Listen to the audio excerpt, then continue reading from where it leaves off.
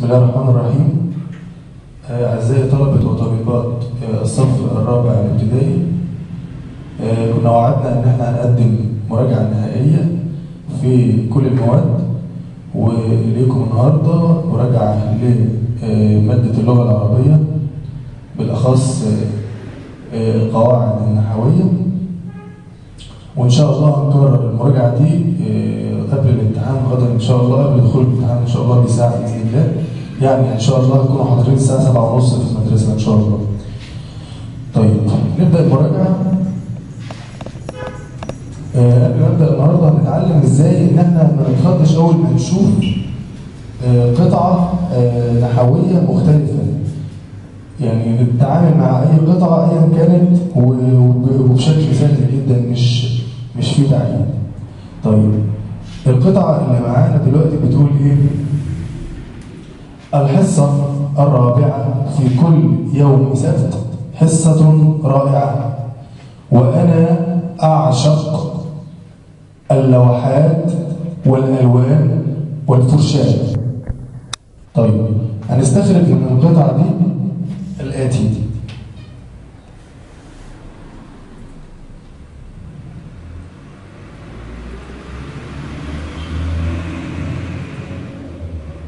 استخرج اسما مفردا. طيب اسم مفردا لمستر الحصة استخرج جمعا تبقى اللوحات. طب الألوان تنفع؟ الالوان استخرج ضميرا. أنا ضمير المتكلم. طيب هنقول لك اعرف ما تحته الخط. هنقول الحصة مبتدأ مرفوع وعلامة رفعه الضمة. أعشق فعل مضارع. طيب القطعة اللي بعدها بتقول العلم أساس تقدم الأمم ولذا تسعى الدولة إلى نشره بين طوائف الشعب وهو يرفع من شأن الإنسان. هيجي يقول لي استخرج من القطعة حرفا يبقى على طول معانا حرف إلى اللي هو حرف جر طيب استخرج اسم جمع. طيب طبعا معانا هنا الأمم هي اسم جمع. آه، استخرج ظرفا.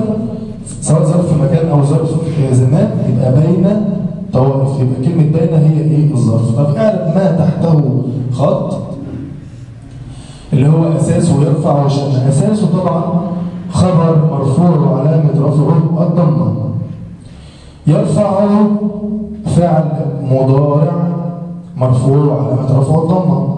مش مطلوب منك تقول طبعا مرفوع كفاية إيه؟ إيه كلمة آه، فعل مضارع. طيب شأن طبعا اللي بيجي من بعد حروف الجر ده اسم مجرور بمن وعلامة جره الكسرة طيب القطعة اللي بعدها بتقول طائر النعام له جناحان ورجلان طويلتان قويتان. تمنحه قدرة عجيبة على الجري فتبارك الله أحسن الخالقين. نقف هنا ثواني. قبل ما نبدأ في القطعة لازم نقرأ القطعة كويس قوي. مرة واثنين وثلاثة. ونحاول إحنا قبل ما نبدأ نجاوب نحاول نطلع الحاجات اللي كده مع, نفسنا قبل ما نجاوب. ده يبقى تميز. يعني آه ندخل بقى على الاستخراج يقول لي استخرج مثلا فعل الاقي أكتر من فعل يبقى أنا جاهز. طبعا استخرج فعلا. هنلاقي هنا تمنحانه يبقى تمنح فعل مضارع. نكمل مع بعض. تمنح فعلا مضارعا طيب استخرج حرف الجر في هنا علامة طيب استخرج جمع. في آه، جمع كتير هنلاقي الخالطين طب استخرج مثنى موجود جناحان جزلان طويلتان قويتان كل ده مثنى طيب استخرج جملة اسمية. طائر النعام له جناحان. اللي بعده. اعرف ما تحته خط. طائر طبعا مبتدأ مرفوع وعلامة رفعه الضمة القطعة اللي بعدها بتقول لم أنسى أصدقائي القدامى. عندما انتقلت إلى المدرسة الجديدة وكذلك لن أنسى أصدقائي الجدد الذين رحبوا بي عند قدومي إلى المدرسة. استخرج اسما معانا. أصدقاء هي إيه؟ اسم طيب استخرج فعلا معانا. أنسى. طيب لو قلنا استخرج حرف إلى ده حرف جر. طيب استخرج أداة نفي في أداة نفي اللي هي لم. ولم برضه أداة نفي لم أو لم طيب استخرج جمع تكسير في أصدقاء جمع تكسير طيب لو قال لي استخرج ظرفا عندي هنا ظرف اللي هو كلمة عند. طيب. الفلاح المصري مجتهد يذهب إلى الحقل مبكرا يقضي وقته في ري الأرض ورعاية الزرع ويعود في المساء سعيدا. استخرج اسما مفردا كلمة الفلاح هي اسم مفرد. هيقول لي استخرج اسما مفردا يبقى كلمة الفلاح هي إيه؟ هي اسم مفرد. طيب هيجي لي بعدها يقول لي استخرج فعلا.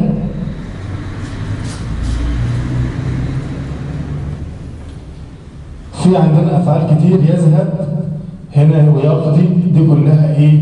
أفعال. أن يذهب يقضي يعود. كل دي أفعال معانا في القطعة طيب. هيقول لي استخرج جملة فعلية على بعضها. عندنا هنا يذهب إلى الحقل مبكرا. دي جملة فعلية. طيب يقضي وقته في ري الأرض. جملة فعلية برضه طيب يعود في المساء سعيدا. كل دي جمل فعلية. طيب ننقل إلى القطعة أو الحاجة اللي مطلوبة بعد كده أعرف ما تحته خط. أول حاجة مكتوب محطوط تحتها خط هنا الفلاح طيب إحنا قلنا كلمة الفلاح هنا لما تبدأ في أول الجملة الإسمية بيتقلع بيتعرب إيه؟ تعرب مبتدأ مرفوع وعلامة رفعه الضمة. مبتدأ مرفوع وعلامة رفعه الضمة. طيب. طيب لو قال لي اعرف كلمة مجتهد لأن دي مهمة جدا في إعراب الجملة الإسمية. طيب ما ما, ما افتكرش إن كلمة المصري هي اللي خبر لأ. المصري دي ما هيش خبر لإنما خبر الفلاح أو خبر المبتدأ الفلاح هو كلمة مجتهد. يعني لو حط لي خط تحت كلمة مجتهد تبقى إيه؟ تبقى خبر برضه مرفوع وعلامه رفعه الضمة.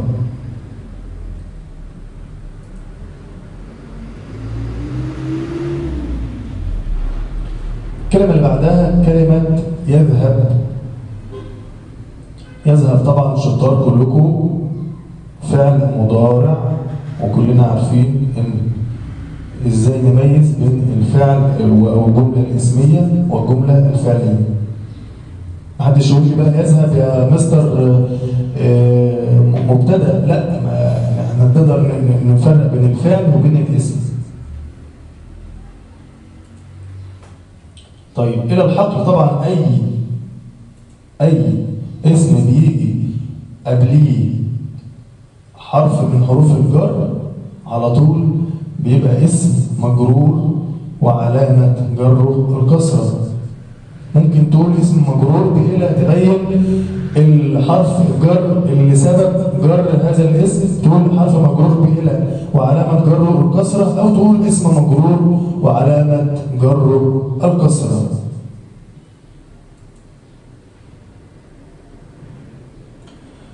القطعة اللي بعدها بتقول مكتبة المدرسة جميلة. تحتوي على كتب كثيرة ويتردد عليها التلاميذ. هيجي يقول لي استخرج اسما مفردا.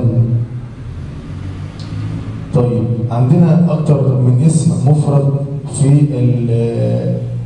في الجملة ومنها كلمه التلاميذ. ده تلميذ ده يبقى, يبقى اسم مفرد؟ لا طبعا ده اسم جمع. طيب مكتبة.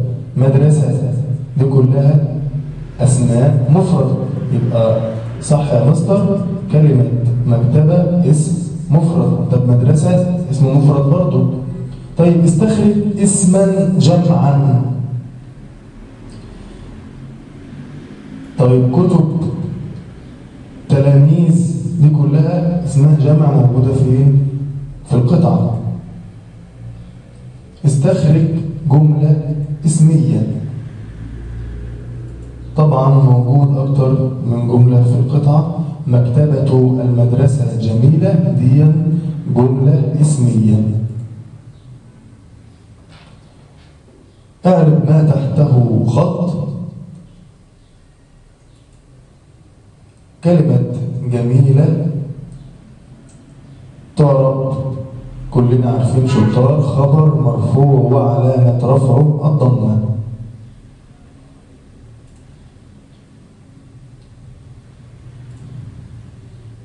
طب اعرف ما تحته خط كلمة تحتوي اللي هي هنا في أول الجملة الفعلية يبقى تبقى إيه؟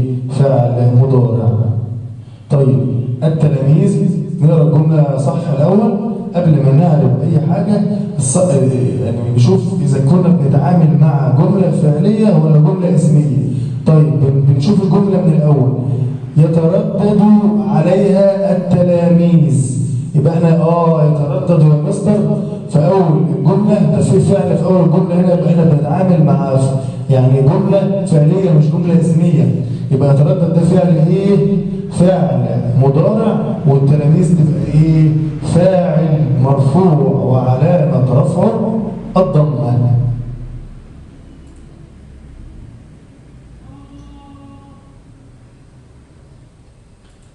ننقل القطعة اللي بعدها. قطعة بتقول الرياضة مفيدة للإنسان فهي تقوي العضلات وتعطي الجسم الحيوية والنشاط. وتساعد العقل على التفكير السليم.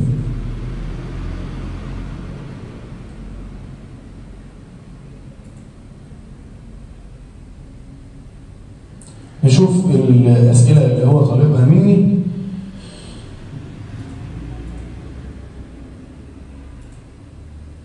هنلاقيه بيقول لي استخرج من القطعة؟ اسما مفردا. شطار الرياضة اسم مفرد. في أكتر من اسم مفرد في في في القطعة. طيب استخرج اسم جمع. هنلاقي برضو أكتر من من من اسم جمع. العضلات.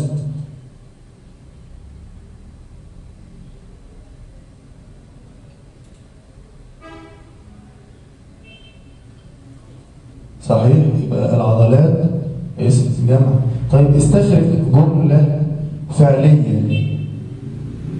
طيب في أكتر من جملة فعلية مصدر في في في القطعة؟ أيوة طبعا. تقوي العضلات.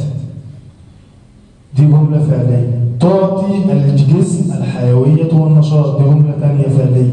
تساعد العقل على التفكير السليم. دي برضه جملة فعلية.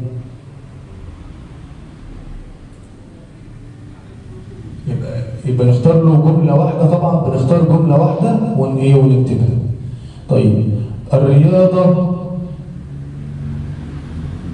دي أول كلمة من الكلمات اللي مطلوب إن إحنا نعرفها طبعا إعرابها زي ما إحنا كلنا عارفين مبتدأ مرفوع وعلامة رفعه الضمة.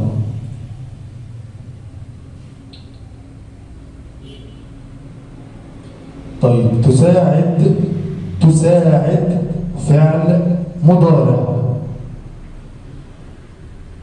على التفكير استنى ركز. ده ده في على هنا من إيه؟ من حروف الجر.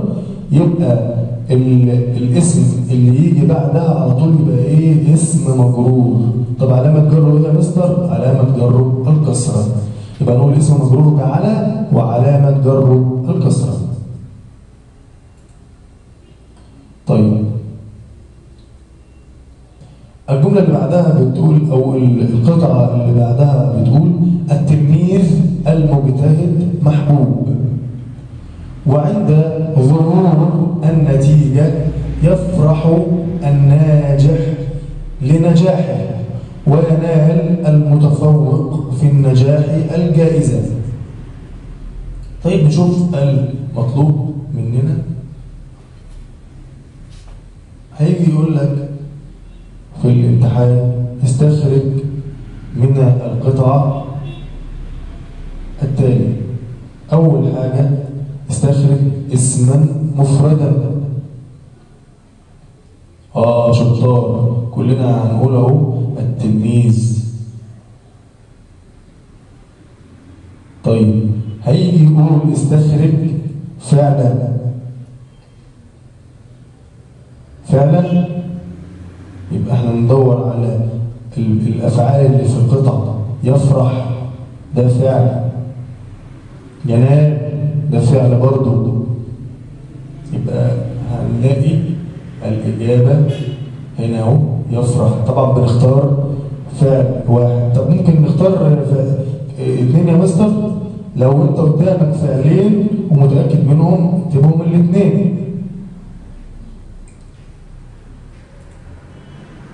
استخرج جملة اسمية.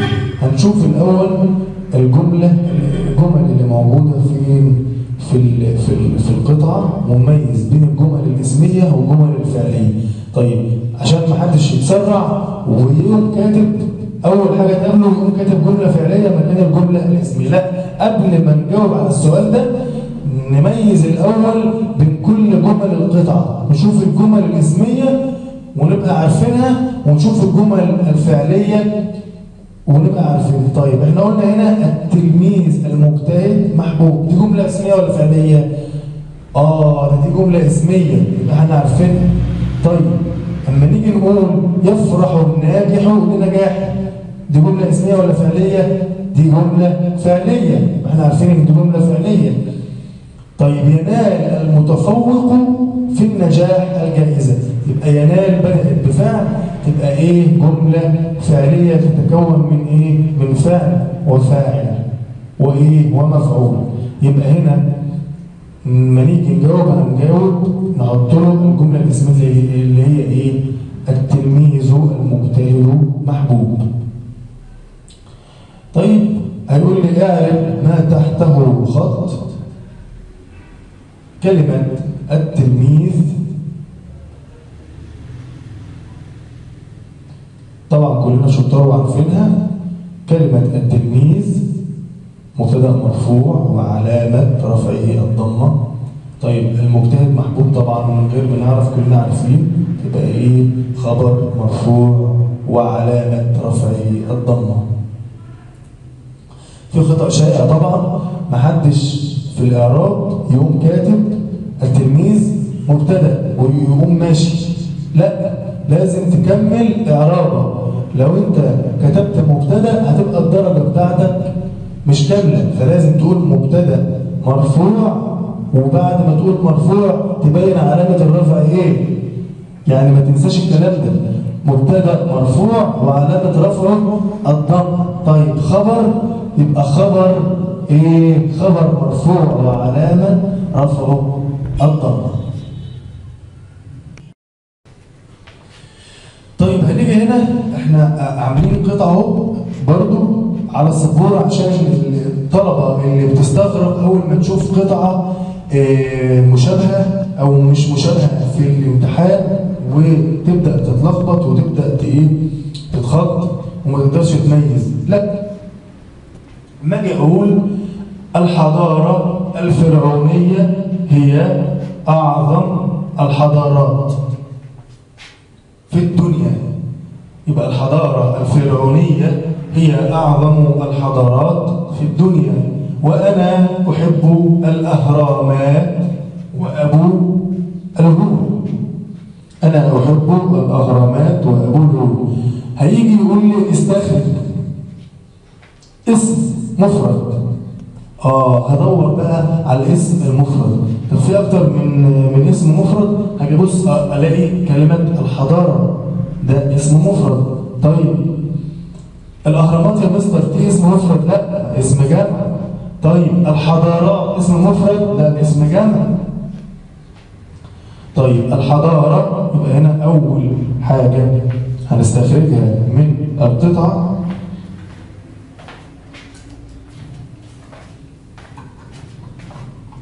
كلمة الحضارة. اسم مفرد. طيب هيقول لي استخرج ضميرا. آه ضميرا. هنيجي نبص هنا هنلاقي أنا. طبعا كلنا عارفين الضمائر وده من الضمائر يبقى أنا من الضمائر وجاوبنا عليه. طبعا ما ننساش التنظيم في الورقة الخط الجيد. ده طبعا بيوصلك إن أنت تحصل على الدرجه النهائيه لما يكون خطك واضح المدرس أو المصحح يقدر يشوفه بخط بشكل واضح تقدر تحصل على درجتك كاملة. هيقول لي استخرج جمعا طبعا عندنا أكتر من جمع قلنا الحضارات دي من الجمع الأهرامات من الجمع يبقى نقول الأهرامات.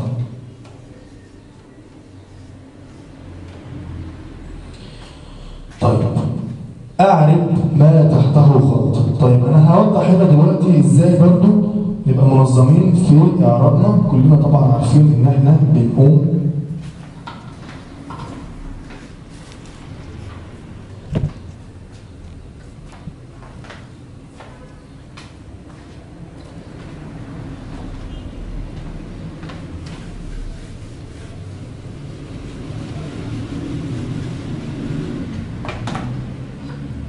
كلنا طبعا عارفين ان إحنا بننظم ورقتنا بهذا الشكل في الاعراب نقول الكلمة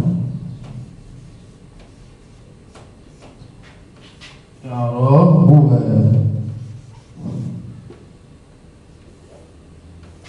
ونعمل بنعمل جدول كده بشكل بسيط حاجة معانا أول كلمة معانا كلمة الحضارة. طيب كلمة الحضارة تعرف إيه؟ مبتدأ كلنا عارفين مبتدأ مرفوع وعلامة رفعه الضمة.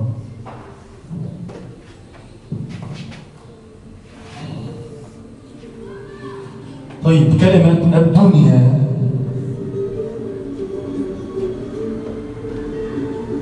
شطار. جه قبلها حرف جر أهو. تبقى اسم مجرور وعلامة جره الكسرة طيب. كلمة أحب شطار كلنا عارفينها فعل مضارع. وبكده نكون آه، رجعنا مراجعة سريعة على القواعد النحوية آه، بتمنياتي إن شاء الله بالنجاح والتوفيق والحصول على أعلى الدرجات آه، تحياتي مستر محمد عبد المنعم.